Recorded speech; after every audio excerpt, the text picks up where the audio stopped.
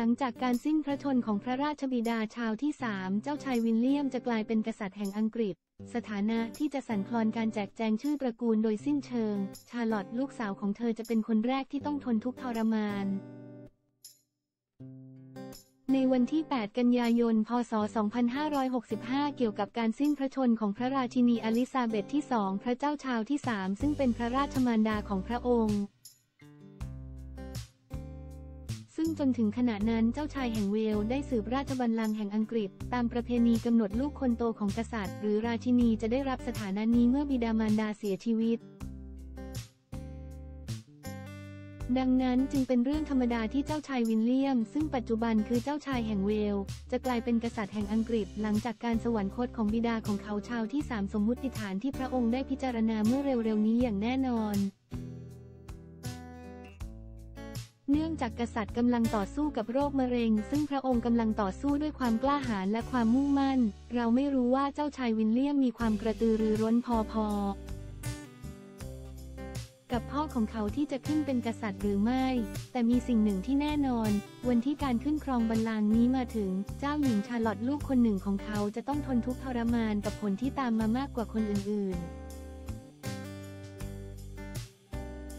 ผู้เชี่ยวชาญในราชวงศ์ได้หวนคืนสู่ความเปลี่ยนแปลงครั้งใหญ่ที่วิลเลียมจะขึ้นสู่อำนาจจะก่อให้เกิดในระบอบกษัตริย์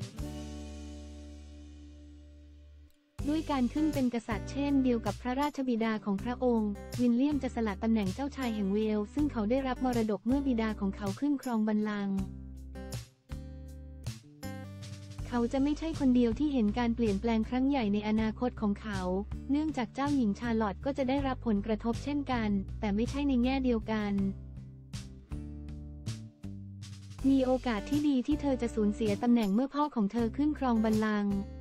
ผู้เชี่ยวชาญทางสถานีโทรทัศน์ออสซากล่าว ชาลอตจะไม่ใช่เจ้าหญิงอีกต่อไป หากสถาบันกษัตริย์ได้แสดงให้เห็นถึงความทันสมัยในการตัดสินใจบางอย่างเมื่อเร็วๆนี้การทำงานของมันก็ยังคงมีฝุ่นผงไม่น้อย เช่นเดียวกับกฎเกณฑ์บางประการ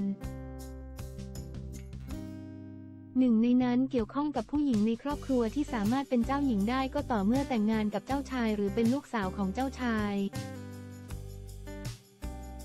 เมื่อพ่อของเธอขึ้นครองบัลลังก์แห่งอังกฤษ และขึ้นเป็นกษัตริย์ เจ้าหญิงชาร์ลอตต์จะไม่แต่งงาน และจะไม่ใช่ลูกสาวของเจ้าชายอีกต่อไป เหตุผลที่ตำแหน่งเจ้าหญิงของเธอจะไม่มีอยู่อย่างเป็นทางการอีกต่อไป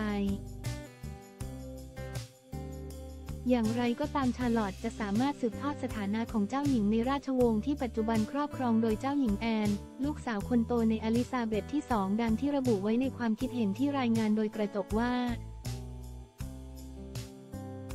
เป็นชื่อพิเศษที่ถือโดยลูกสาวคนโตของ อย่างไรก็ตามพระมหากษัตริย์ที่ครองราชอยู่นั้น สามารถมีเจ้าหญิงได้เพียงครั้งละหนึ่งคนเท่านั้น แต่นี่เป็นประเพณีมากกว่าตำแหน่งที่แท้จริง ดังนั้นจึงไม่แน่ใจด้วยซ้ำว่าชาร์ลอตจะมีชื่อเช่นนั้น ไม่ว่าเธอจะเป็นเจ้าหญิงหรือไม่ก็ตาม ชาร์ลอตจะยังคงเป็นราชินีในใจพ่อของเธอเสมอ